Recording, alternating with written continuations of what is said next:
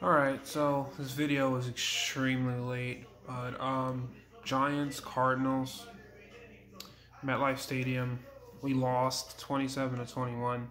Um, I think this is the game that pretty much locked in the fact that we're not a good football team. We lost to the Cardinals. Cardinals are, well, I would say they're just as bad as us, but think after today, it's pretty clear that they're better than us. I mean, they single-handedly just beat us. You know, it, it's just real no ifs, ands, or buts about it. They ran all over us. You know, um, uh, Chase Edmonds had a game. He had three touchdowns. Um, you know, uh, we couldn't stop the run. It was so bad that Kyler Murray only threw for what 100 yards, a little over 100 yards. That goes to show you how, how much for them to score 27 points. It goes to show you how much damage they did on the on the uh, on the ground today, and um, not happy at all about uh, this game at all. Um, I've been saying the whole season that Nate Solder, um, uh, Mike Remmers, our right tackle. So Nate Solder, Mike Remmers, them, them two are absolutely terrible. Um, uh, Chandler Jones, linebacker for the Cardinals, had four sacks today. Um, I mean, who didn't have a sack today, to be honest with you? Chandler Jones had four. Terrell Suggs had one. Corey Peters had one. Brooks Reed had one. I mean, the list goes on and on and on. Uh, Daniel Jones had um, he fumbled three times and lost the uh, lost two out of those three fumbles. Uh, he threw this one pick where I don't even know who he was throwing to. I mean, it looks like he was throwing a Golden Tate, but Golden Tate was double covered, and Jordan Hicks stepped right in front of it and picked it off. Um, I, I, I want Pat Shurmur fired. I, I blame him for this. I understood the hiring a few years back you know, with us having, I mean, with Eli getting towards the end of his career, you knew the Giants were going to draft the quarterback at some point, and um, I, I honestly believe that's why Shurmur was brought in. Shurmur is known for being a quarterback whisperer, you know, from the things he has done with uh, other quarterbacks in, you know, his time in Minnesota and his time in um, in Philadelphia as well as uh, the offensive coordinator, uh, I believe under Andy Reid, and I believe he was the offensive coordinator under Chip Kelly as well. Um, so I most certainly see why Gettleman brought someone like him along to help groom our next franchise quarterback, who is now Daniel Jones. Um, now that that's, I mean, after this season, I see no reason to keep Pat Shurmur. I mean, this man is terrible. I mean, just look at his record. I, I, I think he has is his record 17 and 39, I think. He's he's been head coach for two teams. Um it is what is this his fourth? I think this is his fourth season as a head coach. Um, he was had two seasons under Cle- uh, when he was in Cleveland, and he had two with the New York Giants. I hope this is. I hope it's just two for the New York Giants. I, I don't want this man back next year. Um, I want him gone. Shula, our offensive coordinator, I want him gone. James Bettcher, he got to go too. I mean, I'm not happy with that entire coaching staff. Um, you know, and, and, back to this offensive line because I really believe that line is the reason why we lost today. Oh, there's several reasons why we lost today, but that's a big one. You know, because of more so Nate Solder. You know, with how much money you're paying someone like Nate Solder, our left tackle, and for him to just give up.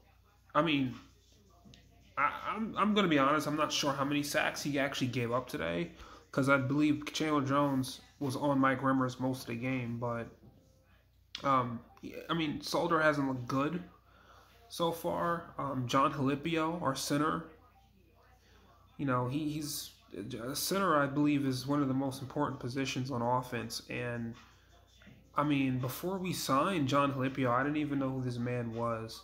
You know, he, he broke his leg at the beginning of the season last year. This is the first season that he's starting, I guess, the full year on any team, to be honest. And I mean, he's kind of it's predictable. It's, he looks exactly like what most people thought he would look like. You know, a guy who was undrafted. You know, I believe he was he was selling cars just a few years ago, and now he's our center. You know, and um, and last but not least, Mike Remmers. Mike Remmers. Well, first, our right tackle, our history at right tackle, especially over the last five, six years. I mean, I think the last good right tackle we've had was probably Justin Pugh, and that's not saying much because Justin Pugh, um, he he was so bad at tackle they moved him to guard. Um, so clearly we don't we, we don't we aren't that good when it comes to uh, trying to protect that right side. It, it's time to draft a tackle. You know, we tried drafting one of Fears back with Ereck Flowers. Clearly that didn't work out well. It's time to get another give it another shot. You know, these free agent tackles just aren't doing it. You know, um, I mean, I already talked about how awful Solder is. Mike Remmers, you know, quite frankly, Mike Remmers is more of a placeholder. You know, uh, Chad Wheeler was our right tackle last year, and Chad Wheeler, you know, I mean, like I said, we've we've had just bad history on that right side, and he's a part of it. You know, um, so it's time we actually, we might actually need to completely revamp that entire offensive line. Um, I'm not even sure if I'm sold on Will Hernandez anymore. And I was extremely high on Will Hernandez. When we drafted Will Hernandez last year, um, that was one of my favorite picks. You know, one of the best picks I thought the Giants did have done in a while. You know, and I thought it was the perfect pick to go in the second round right after drafting Saquon Barkley in the first round but I'm not impressed with him so far. He had, um, he's had he had a, actually he had a pretty crucial holding penalty today that uh, basically negated this huge run by Saquon, and um, it's just that whole line is is really inconsistent. I put most of the blame on the coaching staff, but we also have to get better players, especially on that offensive line. You cannot expect a rookie quarterback to progress behind you know, that absolute garbage that's in front of them. Um, Sterling Shepard didn't play again, so Golden Tate's clearly our number one guy. And, uh, I mean, honestly, once you go double cover our number one guy on this offense, there's really no one else to to really worry about, you know, in defense. You know, maybe Evan Engram, but um, here's the thing: like I don't, I don't even think our passing game is really an issue. But we can't seem to find balance on offense because how bad our line is, you know. So I don't know. I can rant all day about this game. I won't. Uh, this team is terrible. Giants fall to two and five. Uh, we got the Lions next week. That's a loss. I don't even know. I, I think it's at home or maybe I don't even know where it's at, but it's a loss regardless of where we play. It doesn't matter to be honest. Um, and I believe we got the Cowboys right after that on Monday Night Football.